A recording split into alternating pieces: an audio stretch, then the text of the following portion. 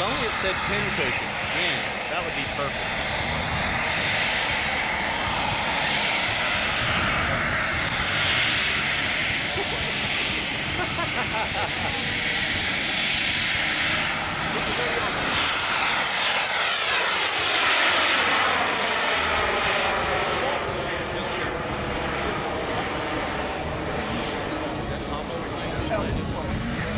Thank